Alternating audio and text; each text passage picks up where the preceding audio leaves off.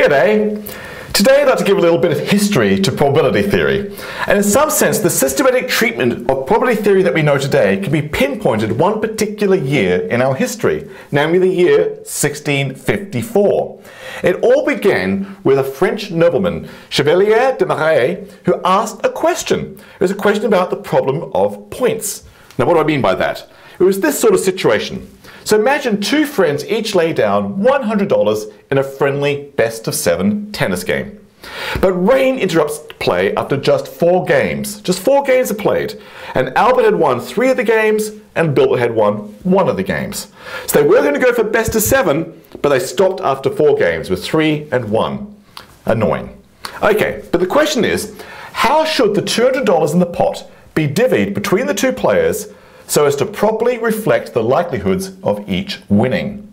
Okay, so Chevalier de Méré was actually stuck on this problem, so he decided to write a letter to one of the best mathematicians at the time in France, namely Blaise Pascal. And Blaise Pascal was very intrigued by this. He said, Ooh, this is very curious. There's something deep going on here. And he wrote about to one of his colleagues, the other best mathematician at the time, Pierre de Fermat. And the two of them really analyzed this sort of problem and started developing the systematic theory of probability that we know today, at least know in the West.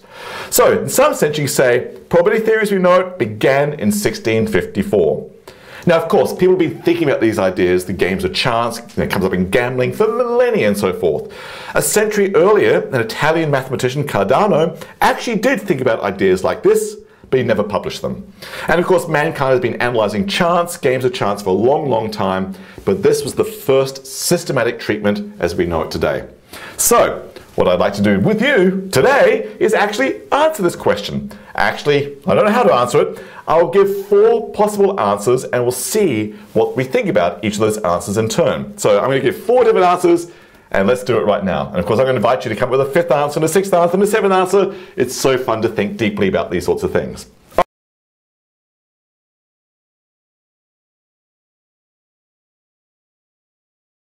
All right, so four different answers to this problem of points. Here goes. Seven games about to be played, interrupted after four. Answer number one. Okay, so the situation right now is that Albert's won three games and Bilbert's won one game and then we have to cancel because of rain. Naive answer would be, you know what, just give each person their money back. Give Albert his $100 back, give Bilbert his $100 back and be done with it. Seems fair, just come back and play another day. All right, that's one possible answer. I think uh, people object because it's not actually answering the question. The question says, okay, do something more interesting than that, please. Please divvy the pot to properly reflect the likelihoods of each winning. Just ignore the likelihoods of each winning right there. Completely ignored the question, not a satisfactory answer. All right, now answer number one, we won't do that. Let's do something that's more about the chances of winning. So let's start over again with answer number two. This time let's actually look at what we got so far. Here's the data we have so far. They've played four games, Albert's won three, Bilbert's won one, so they've won, so they've been, uh, the game's won come in a three to one ratio which then suggests maybe we should divide the $200 in a 3 to 1 ratio. That is divided to four parts of $50 and give three of those parts to Albert, which would be $150, and one of those parts to Bilbert, which is $50. That seems to be more relevant to the, to the uh, situation at hand. That could be one possible answer. Great, one possible answer to the problem. But if you think about this, Albert's probably going to complain. He's going to say, hang on, hang on, I was on the verge of winning. I was about to win a fourth game. It was about to be Albert gets four and Bilbert gets one, in which case I would get the full $200 in that situation. Four games out of seven means I've got the win, and $0 goes to Bilbert. And look, that's what I would have earned. $200 to nothing, that's not a 4 to 1 ratio. Ratio is irrelevant right there. Therefore, ratios should be irrelevant there as well. We cannot think in terms of ratios, at least not in that naive way. All right, I think Albert's got a point. We can't just you know choose ratios in one place and not ratios in the other. Let's think about ratios in a very serious way then.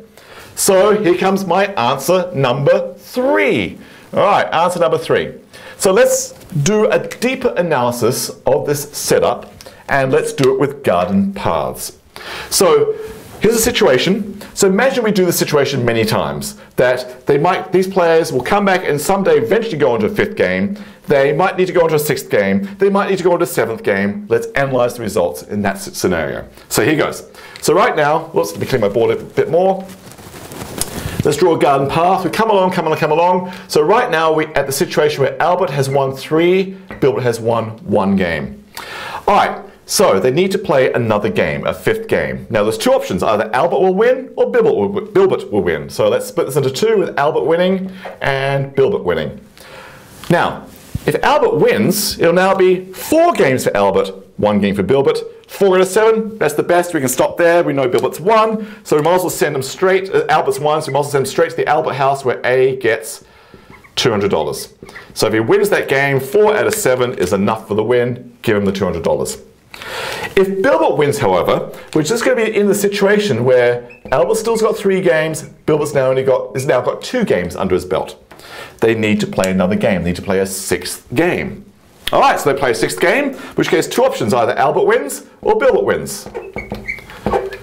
Great. Oh, if Albert wins, great. He's won four games to two. Four out of seven's a win. Give him the $200. But if Bilbert wins, we're now in the situation of Albert's won three games, Bilbert's won three games, and they need to play a seventh game. In which case, two options. Either Albert wins and he gets the $200, four games to three. And then finally, Bilbert wins, it'll be three games to four. So he goes to the Bilbert house now, where Bilbert gets $200. Beautiful, beautiful, in which case, the B house, there we are, there's the scenario. Great. So there is a garden path system that analyzes this game beautifully. And now the question is, what are the likelihoods of ending up in the B house or ending up in the A house? Well, to figure it out, let's draw the area model. But um, let me give myself a bit more space. Hopefully this problem's in your head now, because let me erase this.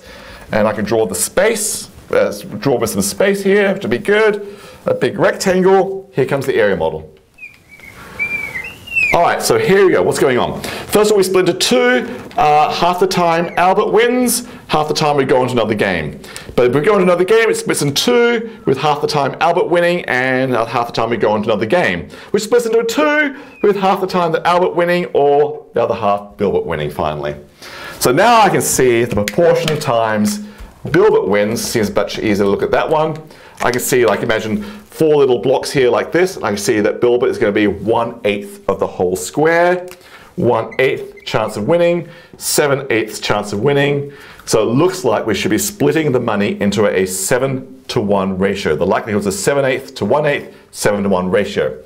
So let's divide the $200 into eight parts. Uh, so it's $25 for one part. Give Albert seven of those $25, $175, and give Albert uh, one of those parts, $25. Oops, $25. $175, $25, beautiful. That seems like a much fairer split. So it actually reflects what really could happen, and they're the likelihoods of B winning and versus A winning. But I think Albert's going to complain about this. And I think rightly so, because look, as we go through this garden path, we assume there's a 50% chance Albert will win, 50% chance Bilbert will win, all the way through. 50%, 50%, 50-50. But Albert might argue, no, look at the evidence. Look, I've won three games, Bill's won one. Clearly I'm the better player. In fact, the data says I win 75% of the time. So it shouldn't be a 50-50 split, it should be a 75-25 split. In which case it's going to change the analysis and I want to, I want to recount please. Alright, so we'll redo the analysis, but this time we'll follow Albert's suggestion for a fourth solution, solution number four, which really reflects the data we have so far, namely three quarters of the time Albert will win the first game, and one quarter of the time Bill will win the second, the first game. For the next game, three quarters of the time Albert will win, one quarter of the time Bill will win. For this game, three quarters of the time Albert will win, one quarter of the time Bill will, will win. Okay, so we need a weighted garden path. Great, there are the weights, which means I need to adjust my area model to reflect those weights. So let me draw the square again. So this time, come down to this game, the fifth game, and we see it splits into three quarters with A winning and one quarter of the time going on to the sixth game. When we come to the sixth game, three quarters of the time A wins and one quarter of the time uh, we go on to another game. And at the final game, the seventh game, three quarters of the time, A wins, and one quarter of the time, B finally gets the $200. So now, now, the proportion of times B wins is this. Which is some fraction of the whole square. So how am I going to think my, through that, my way through that fraction? Well, that's one quarter of that piece. Actually, it's one quarter of one quarter. Actually, it's one quarter of one quarter of one quarter of the whole thing. A quarter of the quarter of the quarter of the quarter of the whole thing, quarter of the quarter of the quarter is uh, 1 64th. Bilbert will win, not 1 8th the time, he'll win 1 64th the time in this weighted way of thinking, which means Albert wins 63 64th the time, which means these numbers here are wrong. We need to divide the $200 into 64 parts and split the money for 63 parts go to Albert, one part goes to Bilbert. So I believe $200 divided by uh, 64 is $3, 12 and a half cents to uh, Albert, one part of them, and 63 parts makes uh, the rest of it. So it'd be 196, uh, 87 and a half cents. Now I've no idea what these men are going to do about the half cents here, but that's their problem. But basically, give $196 to Albert and $3 to Bilbert using data that reflects what's gone on so far. That's a fourth solution. But this time, this time I think Bilbert is going to object because he says, okay, okay, I'll grant Albert's data here that he's going to win three quarters of the time uh, and I win one quarter of the time given that data. But look, next game here, clearly I've improved my playing. I win two-fifths of the time. These weights are wrong right here. And if we get to this part of the game, clearly I win half the time. So those weights are wrong. I need to adjust the weights as we go along, in which case we're going to change this picture yet again. All right, so there's a fifth way to think about this, and I invite you to come up with the actual numbers that go to each gentleman in that case. Can you figure out the numbers that will go if we do the weighted, uh, the, the varying weights on this graph? And then maybe, maybe there's another objection to that solution, in which case we need a sixth solution, or a seventh, or an eighth. So I'm going to invite you to keep thinking about this fabulous problem because it really did spur on all of probability theory as we know it today. It's so deep and so rich and so fun. So see me how many different ways you can come up in figuring out how to analyze this particular problem of points. It is such great stuff.